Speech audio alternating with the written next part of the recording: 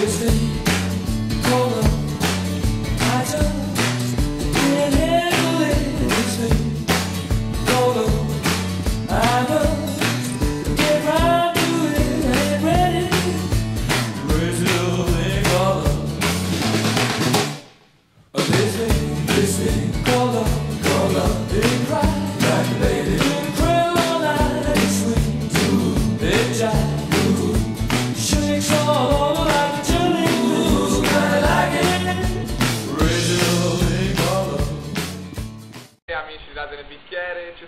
troviamo qua nel vigneto di Terra Bianca. Andiamo adesso a incontrare il nostro rappresentante, Francesco, signor Francesco Russo.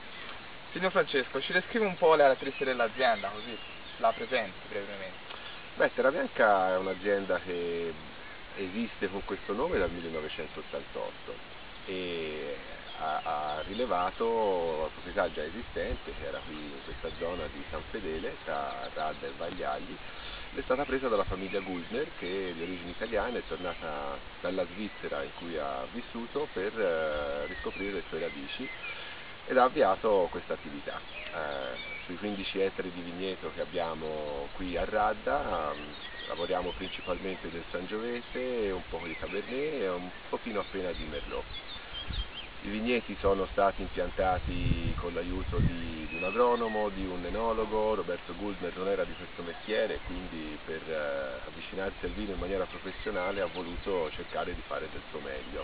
E negli anni eh, è arrivato a fare una gamma di vini che si è basata sul Chianti classico come vino di territorio, espressione di una storia, una tradizione eh, secolare basato sul Sangiovese, affiancandolo con altri vini che sono dei tagli da Sangiovese Cabernet, visioni più moderne, che è stata appunto la sua interpretazione rispetto alla tradizionalità. E questo è un po' lo spirito di fondo dell'azienda. Ecco, visto che ci ha introdotto un attimo questa professionalità riguardo all'approccio sul vigneto, possiamo affermare dunque che la vigna ha una grande importanza per il vino. La vigna è senza dubbio l'elemento principe, il vino nasce dall'uva, se non si ha un buon frutto difficilmente si fa un buon vino.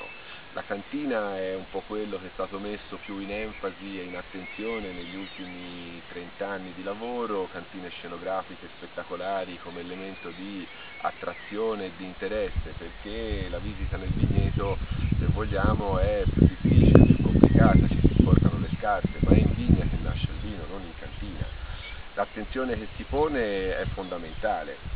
Qui a Terra Bianca abbiamo fatto uno studio approfondito a suo tempo su una scelta di cloni diversi che potessero esprimere le potenzialità di ogni singolo terreno. Qui ci troviamo di fronte a un vigneto giovane, un vigneto nuovo, perché comunque a volte, passato un certo numero di anni, è necessario rinnovare eh, le viti per eh, continuare il percorso di qualità e di caratterizzazione dell'azienda che è stato fatto negli anni.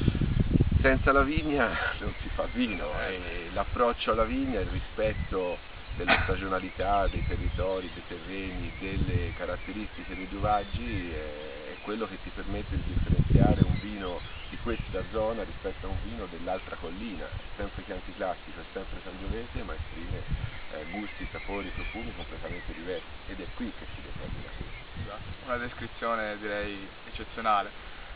Allora concludiamo dicendo e facendo la domanda che vini ci porterà Rada nel bicchiere? A Radda nel bicchiere, essendo una manifestazione che parla di Radda come eh, paese del Chianti classico, porteremo chiaramente i nostri due Chianti classici che sono lo Scassino e il Croce che è una riserva. Sono entrambi vini che provengono da Croce dal vigneto in basso lungo la strada e lo Scassino dal vigneto dietro la cappella ci resta allora che salutarvi e alla prossima intervista. Arrivederci.